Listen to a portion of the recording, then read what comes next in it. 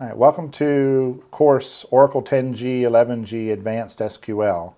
My name is John Mullins and I'll be your instructor for this course. In this course, these are some of the items that you will learn. Okay, we're going to be using some of the advanced features of Oracle SQL um, in order to you know, manipulate data and query data in some different ways. So we'll, we'll see some of the different features there, such as set operators, such as subqueries and such, that will give us some more power in running our reports, in changing our data there. The set operators um, will allow us to combine multiple statements into single statements and get single result sets. Uh, along those lines, we'll be able to write hierarchical queries to access the data as um, one row is related to another row in that same table. So we'll see how to do that. And then you'll also learn how to use the uh, very powerful Oracle Flashback fe uh, query feature, which first became available in Oracle 9i. So we'll see how to do that. We'll see how to do that at both the statement level and at the session level. In addition, um, just being able to create various database objects. That'll be something else that you'll learn in this course, such as tables, indexes, constraints. We'll also see other objects such as sequences and synonyms as well. Now, by the time you finish this course, some of the things that you'll be able to take away with you and be able to use back in your work environment. So you'll be able to use those set operators like we mentioned uh, earlier and so we'll see that you'll have union, union all, intersect, and minus, be able to do those things. You'll be able to walk away from this course and use the flashback query feature where appropriate. So one of the things we'll need to learn is, is what kind of benefits does the flashback query feature give me um, and how to use it as well. All right, being able to combine multiple statements into a single statement. Um, so we'll be able to write some subqueries there, whether it's a select within a select or whether it's a select within an insert, update, or delete. We'll see how to do those things. And then there'll be quite a few database objects that we'll be able to uh, create as well. So like I mentioned before, tables, indexes, constraints, uh, sequences, synonyms, those will be some of the different objects we look to teach and, and learn how to actually create. Now, depending on what your job role is, um, you'll need special privileges to create those database objects, and we'll talk about that when we get to the particular module that's specific to that in this course. Um, sometimes developers, programmers have certain privileges in a development environment that they don't have in a production environment. And of course, if you're training to be a database administrator, you're going to have these privileges regardless of the environment that you're in. Now, before we take this course, there's some prerequisites we should talk about. Um, prior to this course, you should have already be familiar with SQL or would have already taken the Oracle 10G, 11G Introduction to SQL course. Um, so any of those prerequisites are required. You really need to have a basic understanding of SQL, being able to do a select statement, insert, update, or delete. That'll help you successfully complete this advanced course. All right, let's take a look at some of the topics that we're going to be talking about here. All right, so we'll start off, we're going to talk about using set operators.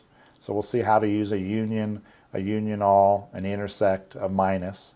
We'll talk about flashback query. You know, that basically allows us to look at data as it looked sometime in the past. So we'll see how to do that. Uh, subqueries.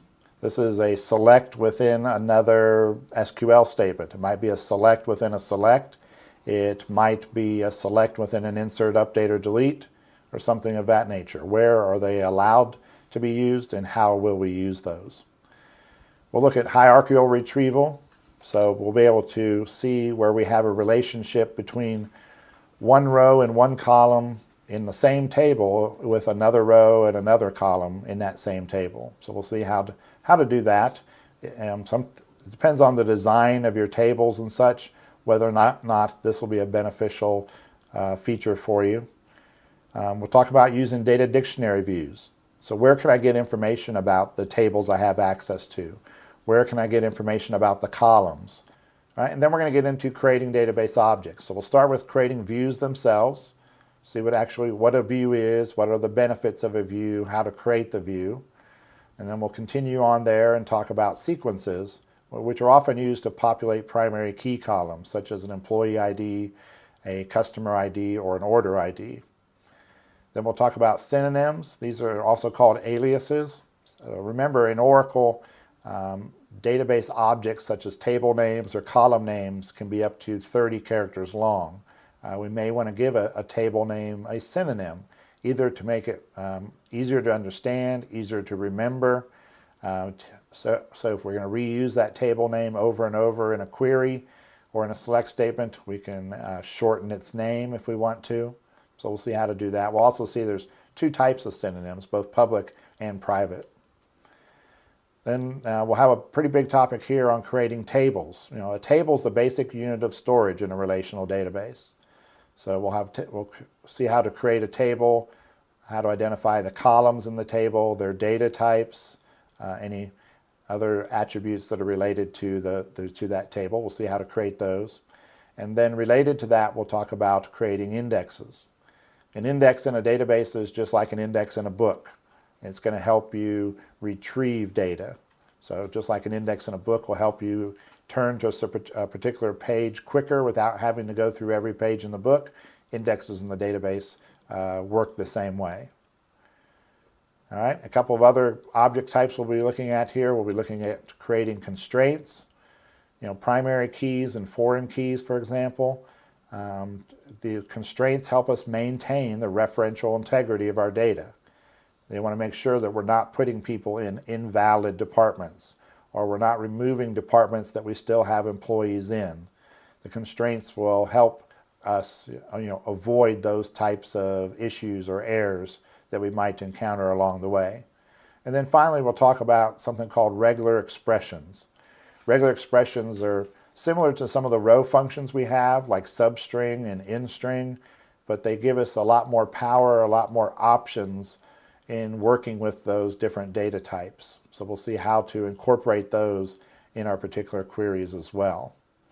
Now, throughout the course, um, you may have some interest in performing some exercises or labs throughout here. Refer to your documentation as far as the setup goes to make sure your environment is properly set up for that. And then when you're ready to download some exercises, just click on the paper uh, clip link and that'll get you the exercises you need at that point.